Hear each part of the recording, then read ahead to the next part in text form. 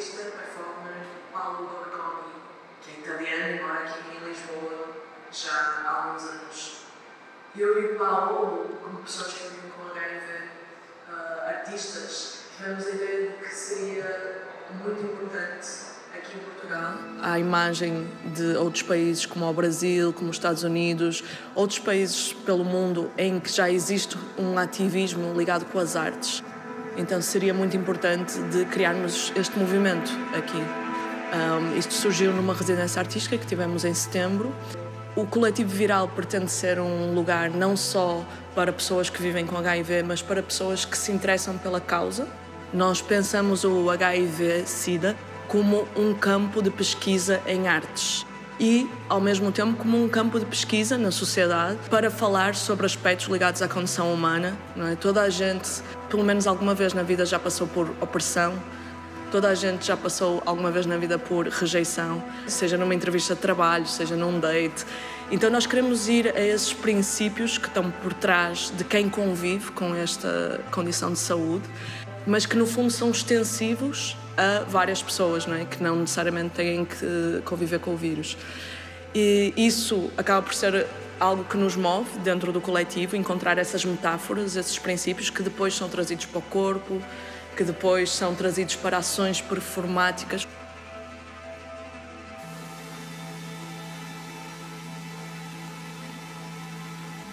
É um coletivo mutante e que está uh, aberto a receber também pessoas que se interessem por esta temática.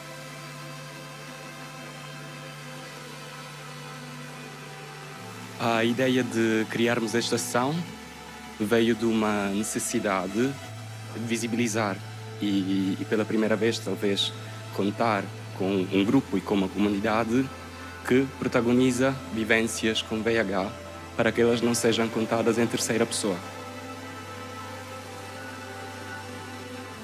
Desde os anos 80 até hoje, tem havido muita narrativa sobre VIH mas uh, especialmente nos últimos anos tem-se perdido muito a narrativa das próprias pessoas que vivem com VIH, porque desde que viver com VIH tem deixado de ser uma sentença de morte, também se tem deixado muito de falar do assunto e a própria cinematografia, a literatura e comunicação social se tem afastado um pouco do tema, porque a falta da urgência e da morte tem tirado alguma atrativa. Quem vive com VIH So I will invite you to uh, watch this. This is on our social media. I will leave that in the end. It's a 10 minute uh, documentary. so I will go on talking a little bit, contextualizing a little bit my action in the activism. Uh, other side of it, it's my current work as an artist and an educator. And currently, I'm developing two projects at the same time one performance and a community project. I will talk a little bit about that. And both, what unifies both is I'm researching the virus as an engine, as a trampoline for social change, individual and collective change. Uh, and I, I, feel that um, in Portugal, there was nobody occupying my place. There, there is no woman visible, artist woman living with HIV, and bringing that to uh, the, my, the research, to the um, elaborating speech about that. So I feel that I'm here to, to tell a new story about HIV and having, this, uh, having the arts as a starting point. And let's do it. okay, I feel that is also important as I'm talking about a 10 years journey uh, to contextualize how am I understanding the virus right now? How do I understand a virus with whom I'm coexisting for 10 years? Uh, I feel that uh, I was uh, of a generation of a change of paradigm. So I found out about my diagnosis in 2011, and in 2016, um, the medicine th there was um, a big breakthrough. So the medicine, the, the uh, doctors start to say that right now we live in this new area uh, called indetectable equal to untransmissible. If some of you don't know what this means, I, I invite you to research. and this uh, transform HIV in a chronic disease for whom has access and is consistent in medication. So today, what I feel is that uh, nowadays HIV, for me, it's not anymore in a privileged country like Portugal that we have uh, access to the medicine for free. Uh, it's not anymore a medical disease, but it's a social disease. So we still face a lot of prejudice and that's why it's so important to be developing this kind of event here. So I understand this kind of event is amazing and very innovative in uh, even, even if it was happening in New York, okay? But this happening here and bringing people from the place to speak in direct speech, I think it's such important to broaden the, the uh, speech about this. So thank you a lot yeah. And what I mean when I say that HIV is a social disease is that it's still the silence, the oppression, the rejection, the prejudice is it, it's what keeps people in depression, in struggling, and eventually uh, kills.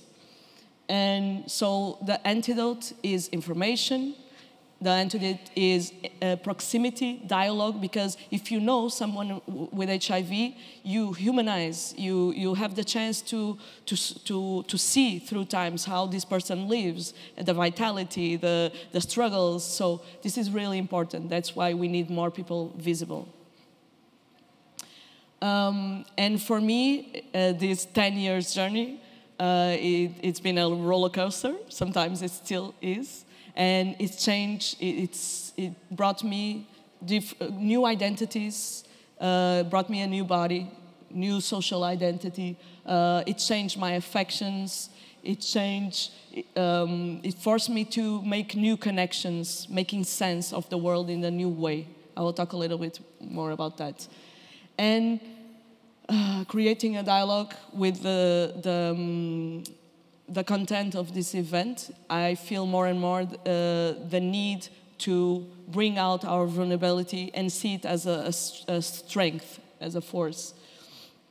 Um, and also, I feel that HIV brought me a language.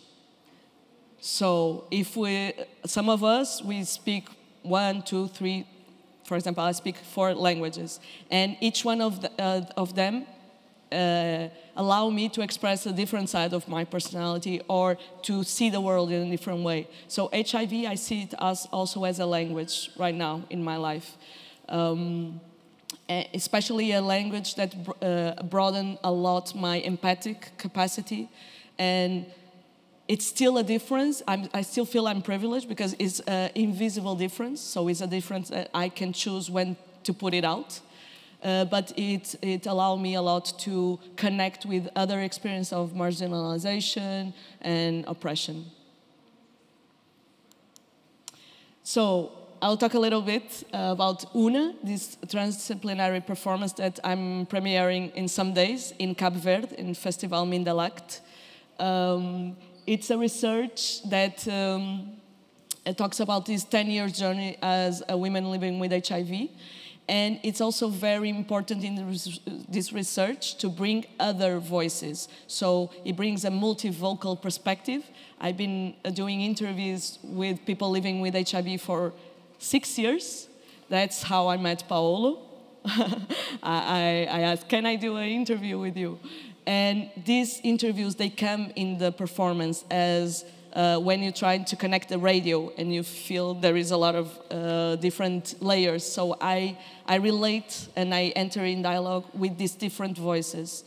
And not only bringing this direct speech, but also uh, bringing the perspective of the other. How it is to receive this new. Okay, so I develop uh, research on Tinder, and I also bring that in the performance. Uh, this is kind of a spoiler. and I invite you to come and see. Um, this is a, a, international premiere, but we'll have dates. I will leave all the information in the end. Um, this UNA, I'm very, I'm very happy because it was the first time I came public and I did. Uh, I start to to search for fundings uh, to develop and to build this performance. We are a team right now of 10. And I, was very happy to be awarded by Gulbenkian Foundation, which is the highest, uh, one of the highest uh, foundation here, GDA, and Campus, which is a, a new performative arts in Porto. Um, and in this performance, uh, I, uh, been researching through the creative process, which is a way to create sense and the arts as a way to create meaning in the world. Uh, there are different exceptions of virus that are coming. So I will not give much of a spoiler, and I have my time here, but I can mention like the virus in the medical sense, the virus uh, in, in the social dimension, the relationships, the, the virus appearing in the relationship, and also the virus as the crash in the system. You know, when, oh, my computer is with virus. And so I bring different exceptions of virus uh, in different ways through then through uh, physical theater, through work with props and, and voices, and yeah. And also, UNA is part of a larger project called Immune. It's a project that intends to discuss what do we understand as immunity right now in the world. And also, it's a project that intends to remember us that we, uh, we cannot forget um, the community as immunity, as Paul Preciado uh, brings us. Uh, so it's a project, it's an itinerant project that will, will be developed first here in Portugal, and then Europe, and then who knows the world. Dream big, right? And it, it, it, brings workshops, lectures in schools, uh, urban interventions, and the performance UNA.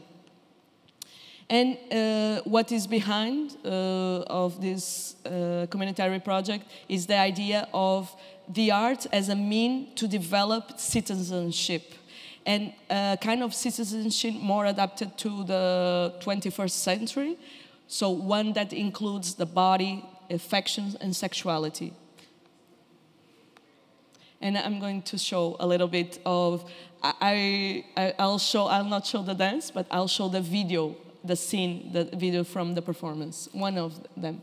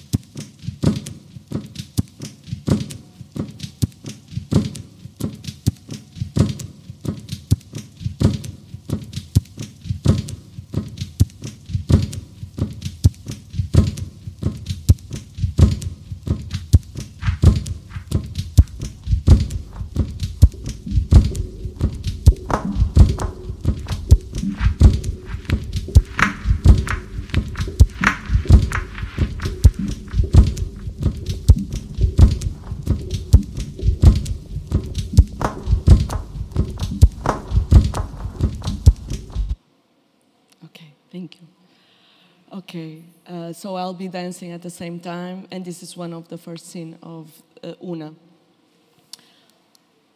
I'll go on now talking a little bit of uh, a perspective which is very keen for me, which is this of a wisdom that the positive bodies carried for being facing and coexisting with virus. Some of us for 10 years, some of us for 30 years.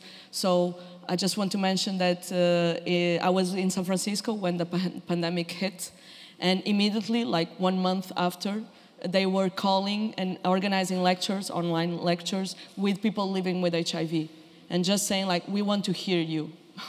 so that these bodies are uh, having to develop resilient answers to face uncertainty, as we all did all throughout this last uh, one year and a half.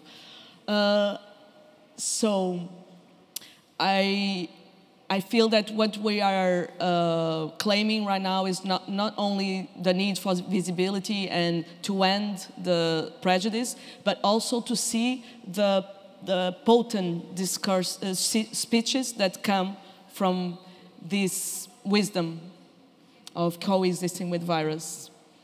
Um, and I feel that, okay, science can take part, can address some part of the cure, and art can address another part of the cure. And I feel that we still are claiming for physical cure. We are. We cannot lose this out of sight as activists from behind, they, they uh, did that today we have the medicines, we also need to keep pushing for the physical cure. And at the same time, quality of life and, and using each one our means to, to, to bring this to more visibility. And just to, to end my, my presentation here, I feel I see each day more uh, the HIV as a crossroad cause uh, the um, potential of intersectionality of HIV, that it's a counter-hegemonical cause that doesn't have a, a profile associated.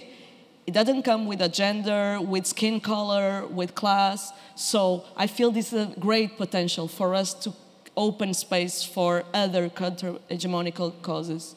Um, and especially the, the theme that brings us together today. Also, I feel that having revealed my status uh, made me connect to my peers.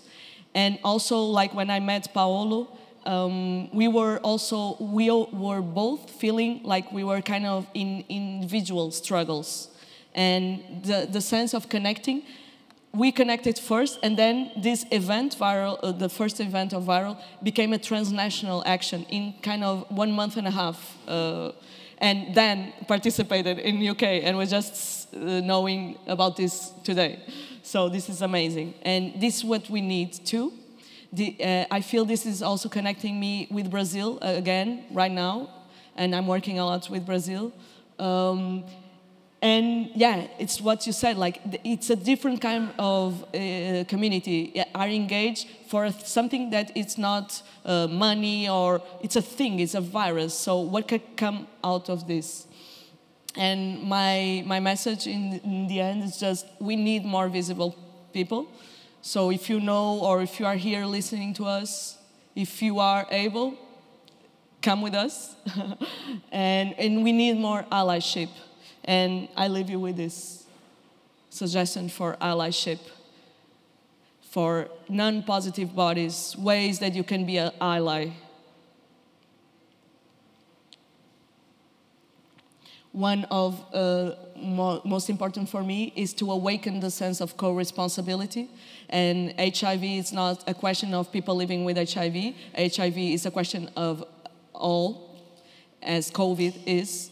And yeah, so this has to do with the, the necessity of each one assuming this responsibility. And I'll end with the social media. In my link tree, you will find uh, all the information about the actions I develop. I will have a campaign to fund the um, immune.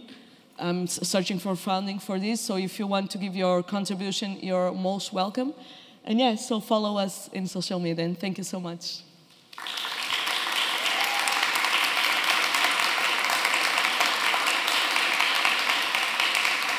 I give the word to you.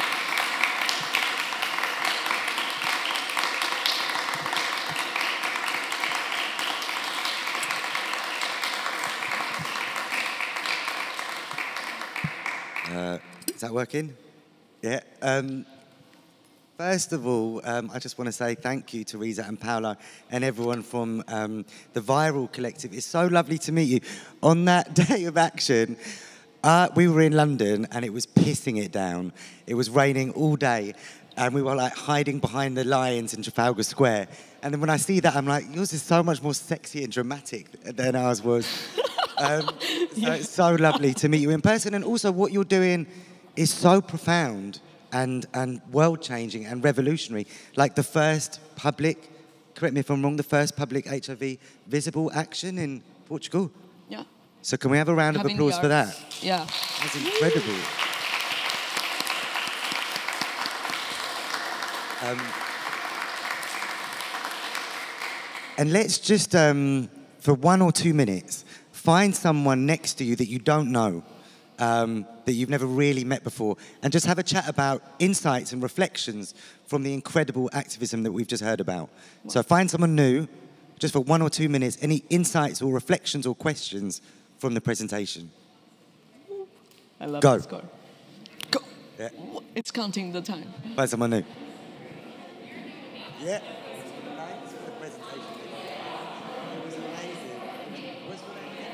Thanks for the presentation. It was amazing. What's your name again? Angeli, I'm Dan. Thanks so much. Olá.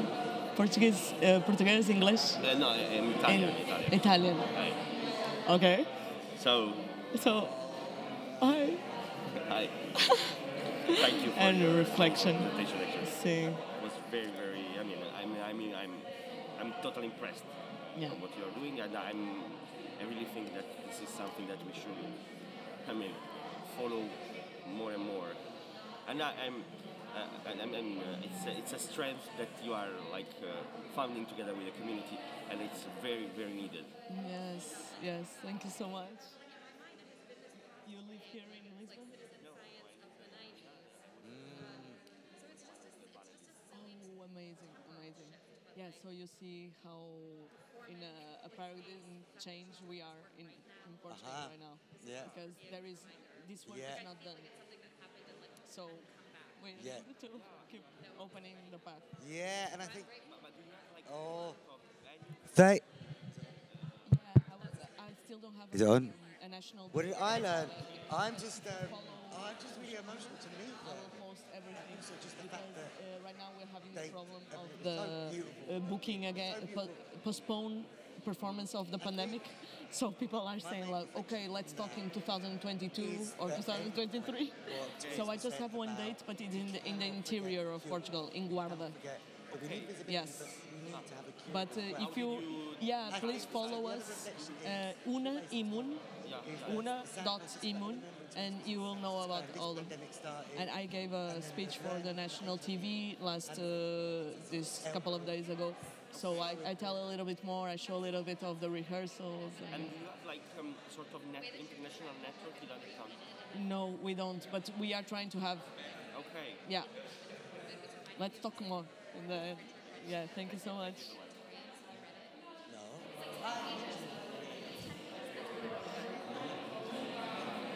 I should get. I need to check. I love check- I love the score. Is I it love the uh, score. 30 seconds left? Um, there. Oh, you've got that picture. Great. You can get. Oh, okay, cool. Where's the. Um, Yeah. Now you have. Exactly. next? Next. It's There just doing it. Right. um, okay, good people. That Um, was a lot. That was a lot. Shh. Come back, everyone. Well, uh, we've got lunch next. We've got lunch next, so we can catch up then. Let's just have um, three insights in short, as short as snappy as you can. Three insights from um, viral from the Teresa's presentation. Go. No time for shyness.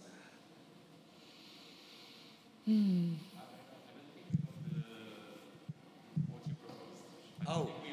Oh, okay. It was just insights and reflections from your activism, basically. yes.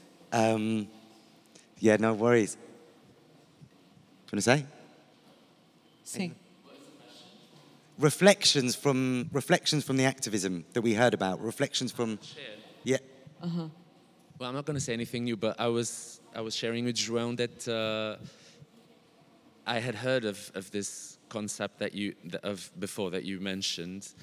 Um, it, given that nowadays in privileged countries like such as Portugal, as you said, where we can access for free medication for HIV positive people, um, and they can like the, the for example the life expectancy is is almost as high as a person who is HIV negative. And and you you even like access this state where that you mentioned the area of undetectable equals intransmiss, intransmissible.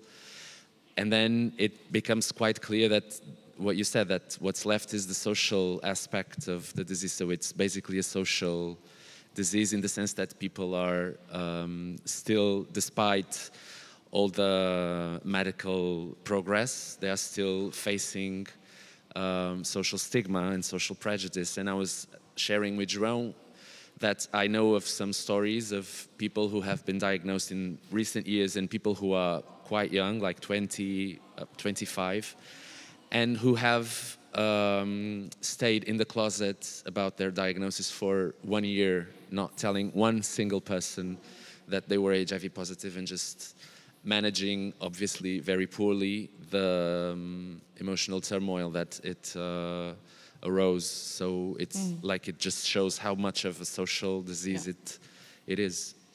Yeah. Thank you. Mm. If I can share something, I, I should keep the, the mask on, right? Yeah, because of the microphone. All right. Um, I think, yeah, of course, uh, there's still, you know, a lot of stigma around HIV and AIDS, and so people who get diagnosed even recently, in some cases, especially if they do not belong to communities who are particularly informed, because like within the LGBT community, due to the implementation of PrEP, which is a, a prophylaxis, you know, a prevention strategy, a lot of people have become in recent years a little bit more aware about what HIV is because by having to prevent it with this strategy, they see a doctor more often or they have consultations more often or they're tested for other STIs more often. And it ends up um, soothing a little bit the stigma and discrimination towards people who are already living with HIV. Because, of course, when people get to know a lot more about the virus itself and how it reproduces into the body or it is untransmittable if controlled, of course, that fear comes off. And uh, I also have a reflection that is about the activism we've been doing since U equals U mm, came out. Mm-hmm. So U equals U means that if you have an undetectable viral load, meaning that your treatment for HIV is effective, you cannot transmit it anyway. I mean, condomless sex is not a risk, so you can finally have your uh, live, live your fantasy of a sexual life that is free of stigma, etc. Anyway, we have to also take into consideration that not all the people who live with HIV are undetectable because not all the people who live with HIV in the world receive the treatment. So her remark yes. on being in a privileged position was very useful. And so when we move forward with this activism towards eradicating stigma against HIV and people who live with HIV, we also need to take into consideration that even before we knew that we are untransmittable, we still had the right to not be discriminated against. And if we have no access to the medication, of no awareness of our status, and we are living with HIV, there are still condoms. Uh, and people do not need to discriminate against us just because their fear is based on you know, the risk of infection. Risk of infection has always been there until we knew it wasn't. And we still had many more um, you know, instruments and tools to fight discrimination towards people living with HIV in a more intersectional uh, way that also includes those who do not have the access to the medication. So I think this is a very important political point that we as artists, uh, community activists, educators, or simply people living with HIV have to take into consideration. Mm-hmm. And yeah, that's what I wanted to share. Yeah. Hello. Uh, and one more from that side. Uh, one more reflection from that side. Anyone?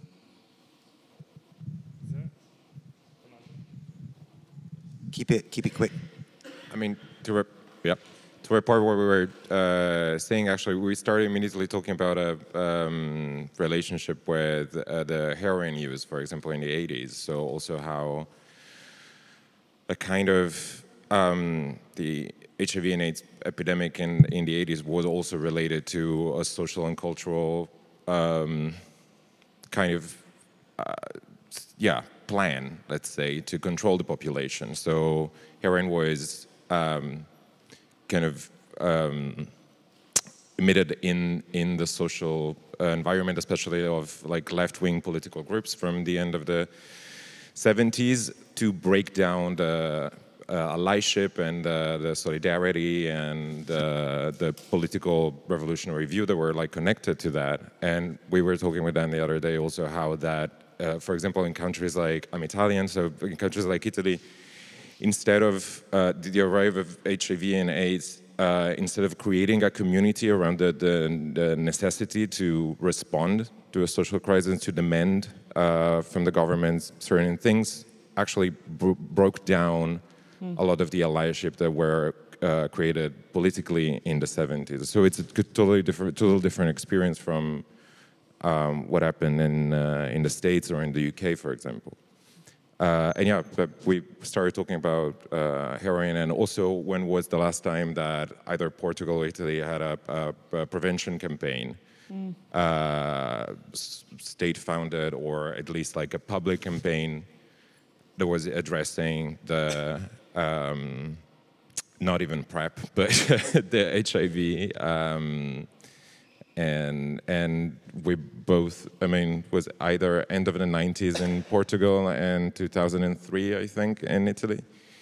And then after that, it was just um, silence. So it's also interesting how this thing kind of, oh, it's not an emergency anymore, right? Like there's always this um, feeling that we um, contained an emergency within a society. And it's mm-hmm. interesting now also to see a different pandemic with a different mm-hmm. uh, social background, a different way to that the virus interact with the body. So the, the way the um, the stigma, I, I think, was like, at least my idea was that the stigma uh, comes from a certain pretended in intentionality. So it, it's not the virus is not intent has no intention. It just spread, right? But in case of HIV, all in a sudden it was like, oh, you caught it because there was an intention behind it, or there was a, um, a risky behavior, mm-hmm. or whatever. Mm-hmm. Corona is at the beginning was completely different, and now also it's turning into a, a similar thing. So it's a lot of personal responsibility for for this thing, and also again, heroin was in the in the picture similar all of these things. We're like, oh, you're a junkie, so therefore. Yeah. Um, so yeah, that's it. Thank you. Thank you. Um, remind me how long I've got until I've got 20 minutes. 20 minutes. Okay, good. Um, yeah, I'm only going to use one picture today because fuck screens. I've been too much on screens, like I'm sure everyone has the last year and a half. So all I'm going to give you is a big pile of shit, which we dropped outside of a far right politician's office on World AIDS Day in 2014, um, which made me really happy because we got half a ton of shit from a local farm in London. Um, Nigel Farage, do people know Nigel Farage? Yeah, yeah, yeah. Um, at the time, one of the awful HIV xenophobic, bigoted things he was saying was that the, um, the, the last kind of migrants we need in the UK are those living with HIV. Um, so me and my friend, and along with ACT UP London, we were discussing what we should do. Um, so we got half a ton of horse shit, found um, Nigel Farage's office um, and t- in South London, and took the shit to it. And it says, "What goes around comes around." Solidarity on World AIDS Day. UKIP stinks. ACT UP London, obviously with the World AIDS Day um, red ribbon. And they ended up, Nigel Farage and UKIP ended up getting kicked out of their South London office because the landlord was like, I can't be dealing with activists dropping shit on my, on my garage, um, which is more than we could have ever asked for. And that led on to other actions, which I'll talk about.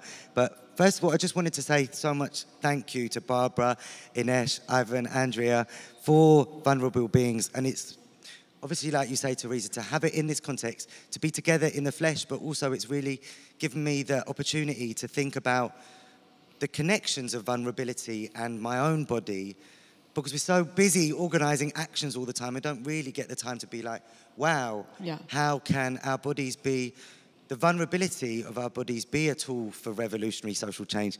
It makes, do we all know Brene Brown? Um, the TED Talks, the power of vulnerability, I feel a bit like a budget, Brene Brown, um, because it's true what she says in terms of the vulnerability of our, of our bodies. Um, and so I just wanted to tell a few stories from my own personal diagnosis to ACT UP London, to, well, when we reformed ACT UP London, it was obviously around in the 80s and 90s, um, and to some of the change making things and the community that comes about. Um, like you were saying, Teresa, it makes me think of your book, um, your book, Tommaso, and, and um, the explosion. The explosion that happens when you connect with, Yeah. with your HIV, the explosion both in your heart for the grief of what's happened before to people who were murdered by many of our governments during the 80s and 90s.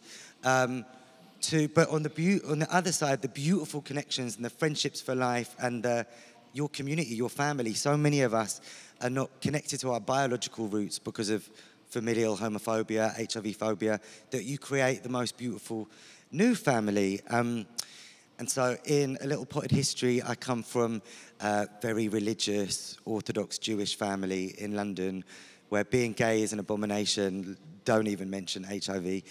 Um, I was a kid during the time of Section 28, which was Thatcher's um, banning of the promotion of homosexuality in public institutions at the very time of the HIV and AIDS epidemic when we should have been talking and acting on it left, right, and centre. Obviously, she was in cahoots with Reagan. Um, so I didn't know fuck all about HIV when I was diagnosed, just when I was barely an adult. Um, I remember going to the doctor after having um, the seroconversion, which is a very heavy, like flu-like symptom. Um, and he was chatting to me in a language, and I love what you were saying about HIV language as well. At this time, it was alienating. He was talking to me about CD4 and viral loads and seroconversion. I'm just thinking, listen, can I still give blowjobs, mate? Like, what's going on? Like, tell me about my sex life. I don't understand. I don't want to think about the intensity of what's going to happen to my to my body and put it off thinking about it. Luckily, I didn't have to take medication for five years. Um, then I had, and I didn't still know, I didn't know anything about HIV activism. I put it into a little box in my head until I had to take the medication. Um, and then I had this lover at the time who I was really nervous about, hence the, the kind of key first, second key point about vulnerable bodies and beings, really nervous about telling him, about disclosing my HIV status. Because I'm sure as a lot of positive people in the room, you dream about it, you have nightmares about it, you think about it 24 7 before you become empowered by it and make these connections. Um, and I remember going round to his and being like, oh, Terry, there's something I've got to tell you. I don't really know how to tell you. Uh, I can leave if you want. He was like, what's going on? Spit it out. And I was like, oh, I can, I can order a taxi if you want. He was like, fucking spit it out. What have you got to tell me? And I was like, oh, I'm HIV positive. I'm really sorry. I can leave now. And he was like, don't be so fucking patronizing. As a, as a gay man, as a human being on the planet, it's not up to you to educate me about HIV. It's about, about up to me to educate myself about it. Um, now get in my bed. And then the next morning, we watched ACT UP films. I'd never heard about ACT UP, AIDS Coalition to Unleash Power. He was like, watch United in Anger. If anyone hasn't already got their mitts on this, and obviously it's amazing Sarah Schulman's coming for the second part, um, like put away your social life for a bit because it's 700 pages. Um, and that's how I found out about ACT UP and that it wasn't my issue to deal with, it's society's. Um, and I never, never looked back. How long do I have? Okay, I don't want to eat into people's lunch. Um, fast forward a few years after um, a coming out show uh, um, on the 25th anniversary of ACT UP. ACT UP New York activist Peter Staley came to London. We used that opportunity to restart ACT UP. And one thing that I really, really relate to, one of the many things I really relate to what you were saying, is the job is not done. People often get sentimental. Um, that HIV was something of the 80s and 90s, but the mission originally was and still is healthcare for all. Simple. We are so far away from that. We've still got a job to do. We still know what our individual and collective purpose on the planet is. And at the time in 2014, we were living in a what was called the second silence in Britain um, for three compounding reasons. Um, the rise in HIV diagnosis. So this is why it's not something to get sentimental about. Um, the rise in um, diagnosis, particularly amongst communities already threatened by the, what's called a hostile environment. In Britain, our Tory, disgusting government have an explicit strategy called the hostile environment to be literally hostile to migrants, um, hence the horseshit. Um, and so one of, one of the communities where there's the fastest growing um, rise of diagnosis is the migrant community because people are scared to go to the doctors in case they're going to get illegally deported, put in detention centres. So that's the number one reason of what we call the second silence. The number two reason being the cuts in services because of austerity and turbo capitalism and gentrification. And that's not just the clinics, that's HIV education, prevention, support services, the mental health support services, the women's support services, the gender based violence support services, all have been shut, resulting in higher rates of anxiety, depression, suicide. I'll stop on the depressing part in a second. Um, and the third compounding reason being the general belief that it was something resolved in the 80s and 90s, which is not for those first two reasons. So that's why we call it the second silence. That's why we started, restarted ACT UP London. Um, and I'm just going to give a few of the actions, um, the exciting actions which came after the horseshit. Um, all of these, if you haven't, well, you're going to see United in Anger in the second part. I've probably seen it about 200 times and I never get bored. And I can actually say it word for word, all of the ACT UP New, York's, New York activist lines, but I won't give the game away. But some of their actions, when it comes to collective, creative, joyful, daring, brave solidarity, putting a giant condom over Jesse Helms's house. Um, do you know what I mean? They've got a house-sized condom um, over a notorious homophobic, bigoted asshole's um, house when he was out. Um, so they're putting a condom over a house.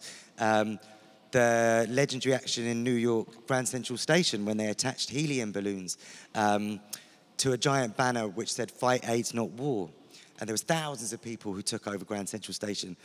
But the one which always, always gives me the shivers is the Ashes action in 1992, um, when people took the ashes of their loved ones um, oh. in protest to the White House gates and chucked the ashes over of their, of their loved ones who'd been murdered by the government.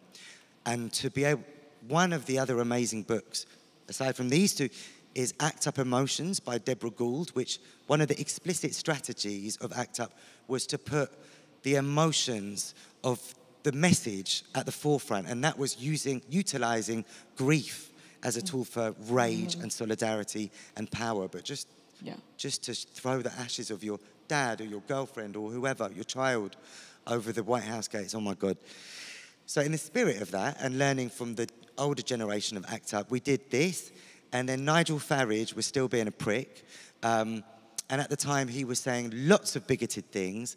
Um, and so we decided to create a cabaret which was going to invade his local pub because what he said was like, I'm a man of the people. You can come and chat to me in my pub. It was like, all right, then we will. Um, so at the time, he said, um, breastfeeding mothers should face the wall. Um, he was on a train from Manchester to London, and he didn't like the sound of hearing all these international languages. Um, he was late for a meeting in Wales, and he blamed the traffic on the motorway on migrants. Um, another UKIP councillor um, when gay marriage was introduced in 2014, it was bad weather, and he said it was a sign from God, um, as well as the bigoted comments about HIV migrants. So we got together, and this is one of the many strategies of ACT UP, is all injustices are connected, seeing our yeah. struggles as, as part of the bigger picture, because um, there's no fucking time to waste.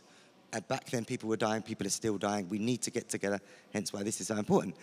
Um, so we decided to create a cabaret, and everyone did a parody of the bigoted statements that he was saying. So we found out his, where his pub was in Kent, near London. Um, so we had breastfeeding mothers at the bar with their boobs out. Uh, we had a, a, migrant traffic jam blockading the round of the pub. Um, we had Luca doing the HIV um, activism, anti-stigma classes um, in the pub.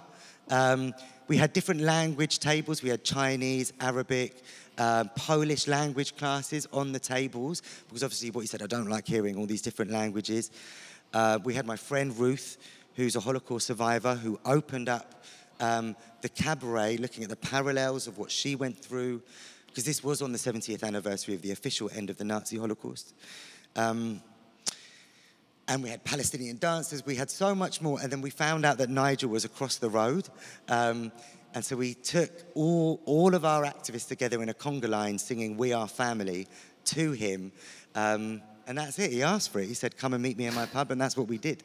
Um, and then he left, and then we carried on having a great time. And actually, that action was so um, powerful for each of our different communities to learn about each other's issues. Um, then the last few actions I want to mention PrEP. I don't know the situation in, in Portugal about PrEP, and I'd love to hear more. This was uh, really like 2016 and 17. Um, PrEP wasn't available for everyone um, on the NHS. In, in England, we went into NHS England's offices and did a noise demo with, with all the cutlery and all the saucepans that we could. Um, we found Gilead's office in central London. Gilead, one of the key pharmaceutical companies who were responsible for not lowering the price of drugs. Um, and five of, our, five of our activists got naked and went in the giant windows with G R E E D on their butts, uh, which was a great photo shoot. Um, again, a very exa- good example of vulnerable bodies, vulnerable beings yeah. in, in an action. Um, we did a queue around the um, main kind of STD sexual health clinic in central London, um, the queue to nowhere because we couldn't get access to medication. Um, and everyone was dressed up in blue because of PrEP. Then two of the last actions, um, ACT UP Women um, started uh, the Catwalk for Power, Resistance and Hope, um, where because of the multifaceted, multifaceted oppressions and patriarchal context that we're living in, it's super difficult, especially obviously for migrant women to expose their status. Um, they initially were going to do a catwalk where they had masks on as part of a fashion show in various different central London locations. But before the first fashion show, they were like, fuck it. We love who we are. We're proud of who we are. This is obviously led by Sylvia. Um, and that catwalk for power, resistance, and hope is still going on. And the last one, which actually makes me think of what you said at the beginning, our, our blind date. Every um, World AIDS Day up until the pandemic, we had a show called HIV Blind Date has anyone seen the British cheesy TV show called Blind Date with no. Cilla Black? It's quite simple format. It's you have um, three contestants who want to date the person behind the screen, and they want to. They ask the questions, and they've got to respond. So we created a show in the spirit of that, um, because everyone living with HIV deserves love. Um, and fun and romance just as much as everyone else, maybe even more. Um, with HIV related questions. With all the different members of our community touching on the different issues, but obviously having a, like a witty spin on them all.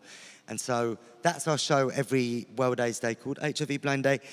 Um, but we're not doing that this year because Sarah's coming to London just before she comes back to Lisbon um, to talk about Let the Record Show um, and to be able to um, connect with what you're doing in Portugal and to connect with the ACT UP New York activists um, is such an honour because really we're living in extraordinary times when it comes to the opportunity to have these conversations yeah. Yeah. Um, is, is so powerful. Um, I don't know what else. Oh, oh, yeah, one other thing. Last thing that I was going to say. Oh, fuck it. Two last things I was going to say. The epigenetics of vulnerability mm. is something I think a, a lot about. Mm. Going back to where I started with the Jewish aspect of things. Um, my grandparents were all Nazi Holocaust survivors, two from Germany, two from Poland. And one thing, of the many things I learned from them, um, is you have to let trauma out. You have to let trauma out. The whole better out than in kind of philosophy. And that's really what I took with me, learning from, because otherwise HIV will be a war on our own immune, immune system. We have to get it out to collectivize it. And so that's one thing I really took about trauma, the, the epigenetics of trauma in, in our system. And the last thing I wanted to say is um, the, the PrEP and how incredible and miraculous it is. Um, I wasn't going to put a picture of, of my baby because that would be weird. Um, but me and another ACT UP activist, um, we were always kind of joking. Um, this was like t- 12 years ago that we'd have a kid. And then she was like, right, I'm getting serious. And um, she lives in like an ACT UP women's commune up in Scotland. And I'm obviously based in London. Um, she didn't even need, I had a wank in a jar in my kitchen. Um, it worked. She didn't even need to take PrEP, um, which for me is a mind blower. I thought at the time it was still sperm washing, um, which we were going to make a show about. Um, uh, but that's ghetto now. That's not even relevant anymore. It's just amazing because of activism, which then obviously the pharmaceutical companies take credit for. It's like you didn't fight for PrEP. Um, that we can have, we can reproduce. I never thought I'd have kids, biological kids. Um, but, and that's because of PrEP. So there's our little ACT UP baby, which if you come to the UK, hopefully you'll meet. Uh, I've rattled on enough. Thank you so much for having us. Um, uh,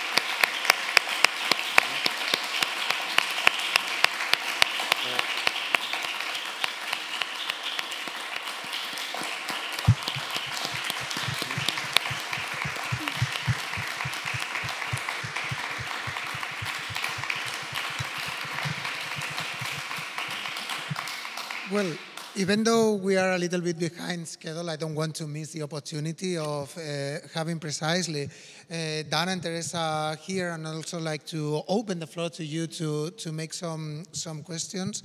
And precisely, I I would like to to to start with one question that is, uh, I think that it was really moving the way that you were uh, both, uh, in a way. Um, not only talking but performing activism.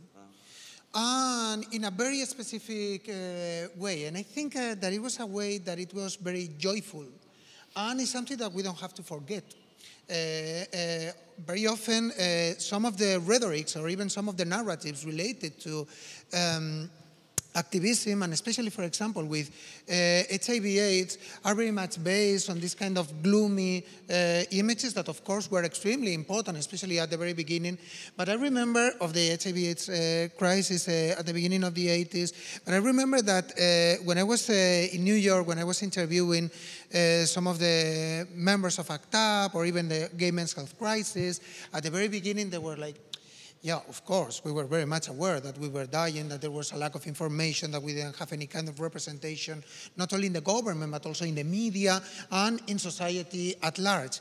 But also, when we were in the hospital, when we were even like waiting for our results, uh, we were also cruising, and we were also flirting, and we were also, uh, you know, sharing some jokes because that was also very much political. That was very much uh, our definition of activism.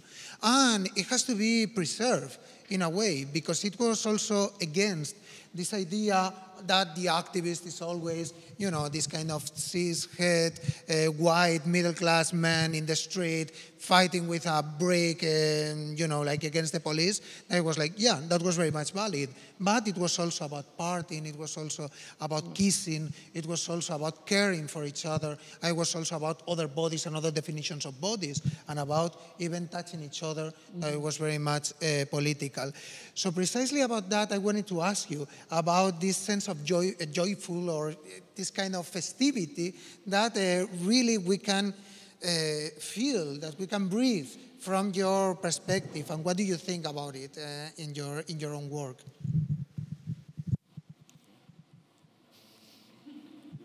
Uh, it, it is the essence, really, for me. Um, I guess it's it's the um, the two dramatic faces of of comedy and tragedy, because when you've been at death's door, when you face where else are you going to go? You've got you've got um, you go to the other end of the spectrum of like finding the joy in things. Um, there's uh, yeah, and you said it com- completely how it was in terms of the joy, the the seduction, the eros. Because as one w- word I really was reading a chapter this morning, it's the deep passion that people had because literally they went to the next meetings every Monday night in the ACT UP New York Centre, and their best mates might not be there the next week because they would be dead. It was life and death, and there was a deep passion, which is joy, which is Yeah. life. And just one last, God, I always go back to the Jewish thing. Um, I've got this, this quote on my arm which relates to that by um, a Dutch mystical activist um, called Etty Hillesum, who was a student of Carl Jung, um, who uh, died in Auschwitz when she was 29, but she wrote in her war diaries, it was very much about finding joy in the saddest places. Um, and this quote, uh, her, her diary writings were found on the edge of the train tracks. She was in the same transit camp as my nan. And one, this quote which I got um, says, We may be sad and depressed by what has been done to us. That is only human and understandable. But we ourselves are our own worst enemy if we inflict the pain upon ourselves. I find life beautiful and I feel free. The sky within me is as wide as the stretching above my head. And she wrote that in Auschwitz when she knew that she was going to die. She also, it was documented that she used to take the piss out of the SS guards, being like, Why are you in such a bad mood? Did your girlfriend dump you last night? And all this kind of shit. Just like when things are that bad, you still like, like survival Yeah. is through joy. Um, yeah. Yeah. Wow. Thanks. yeah, I more than joy, I think about vitality. I think about, um, uh, like Dan said, uh, accessing the full expect- spectrum of what is what means to be alive. And um, for me, and with the people with whom I work, because I also develop an approach, a, a- pedagogical approach uh, based on on the workshops are based on HIV, uh, on this kind of wisdom. Uh, I feel it's a kind of restoration of humanity bringing, uh, accepting that this is all part the joy, the grief, the, the confusion, the complexity that the virus brings us.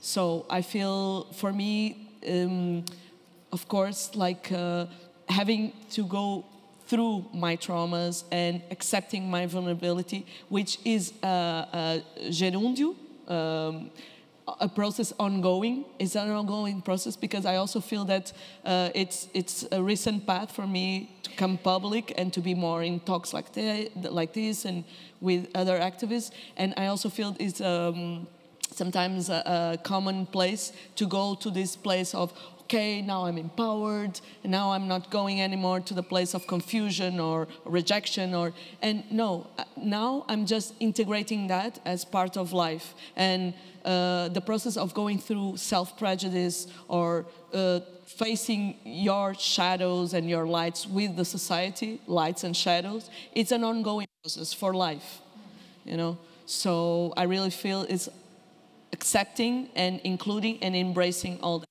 that's it's to be human Yeah, to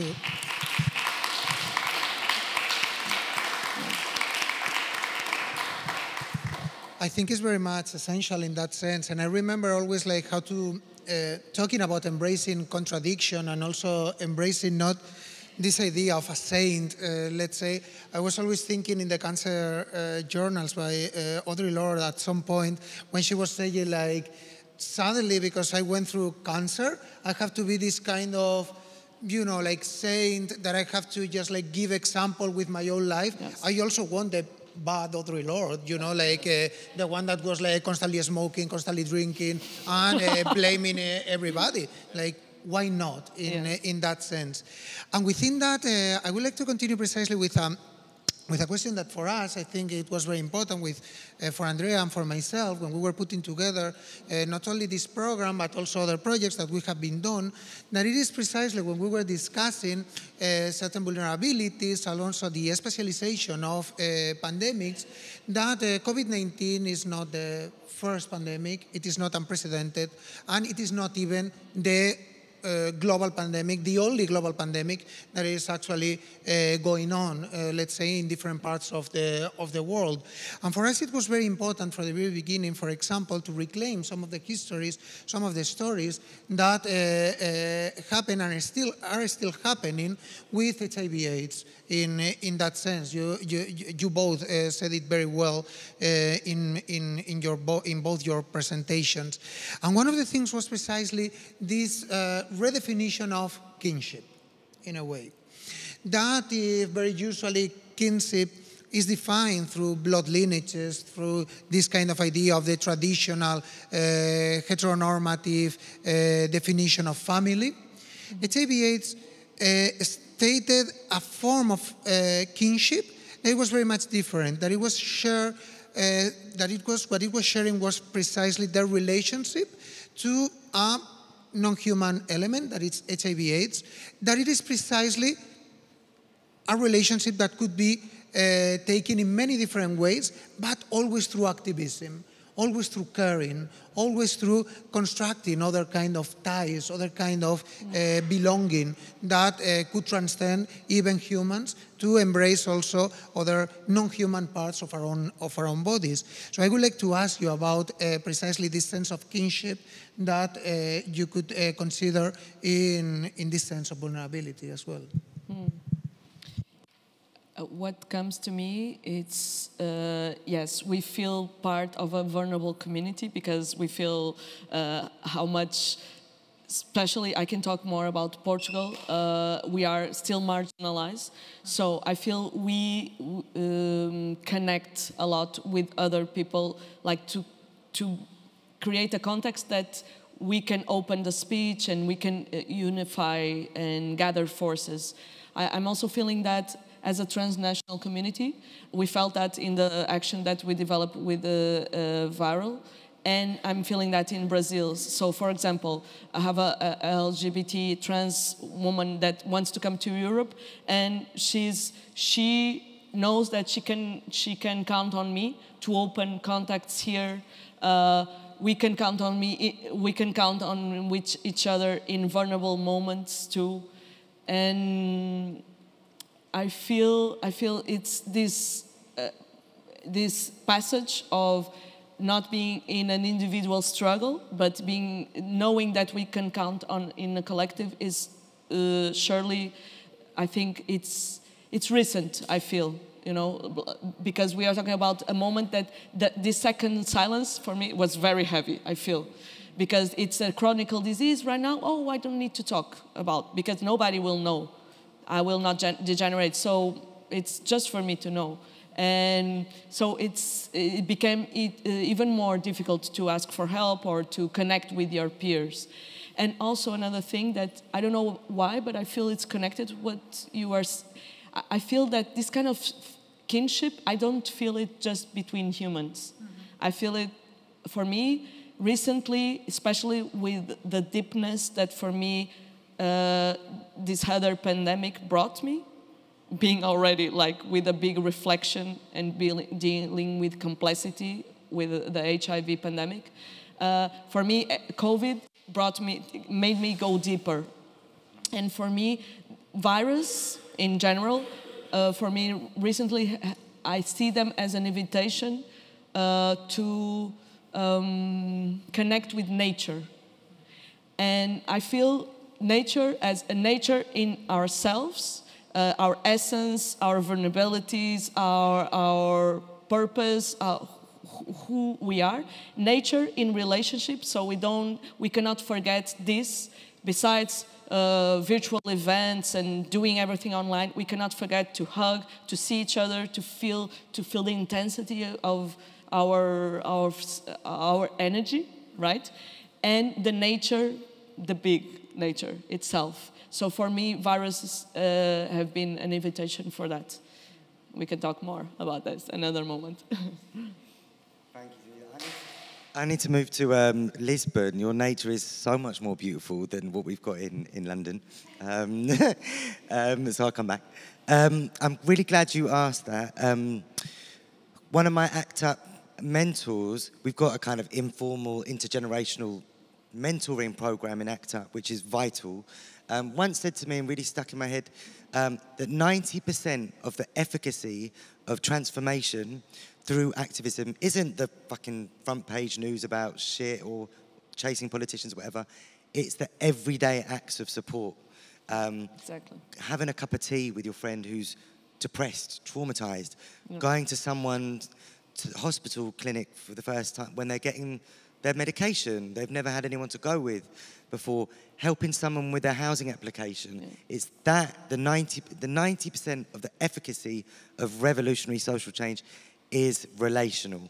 And that's the, the vulnerable kinship, which is never going to get the front page of the press, and we don't want it to.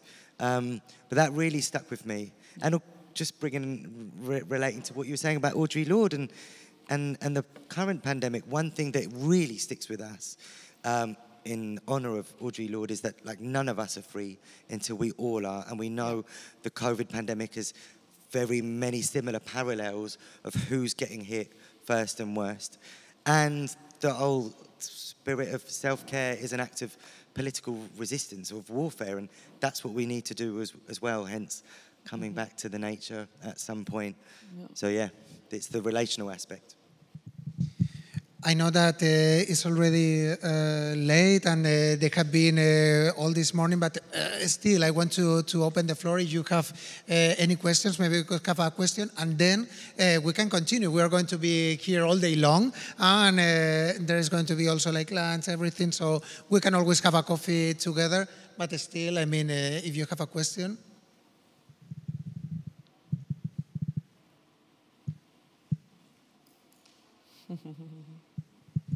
I think that actually, like uh, having the questions or the conversations over a, a coffee or- or, or whatever. or something that you want to share. Exactly. It's uh, we will have it, uh, and uh, but again, uh, two things. First, uh, of course, we will go uh, for lunch now, and we will continue at two thirty with with one of a very short film by Sofia Gallisa Muriente, talking about other perspectives, other vulnerabilities, also from her experience, also in Puerto Rico, and then a conversation with Sofia Gallisa and Cruz Garcia on on that, and then we will close, of course, with with Polido. But uh, I just wanted to to think again because if we are all here, we are all here also because of uh, people that uh, both Teresa and Dan had been sharing uh, and talking about, uh, from ACT UP to many others that are really hugging us from different places and from different books or from different uh, conversations or from different callings, and that we, I think that we really feel them, and we should continue feel them, and we should still have many different cup of teas with them because I think that it is extremely, extremely important. So please join me to, to, to thank again uh, Dan and Teresa for this uh, fantastic conversation.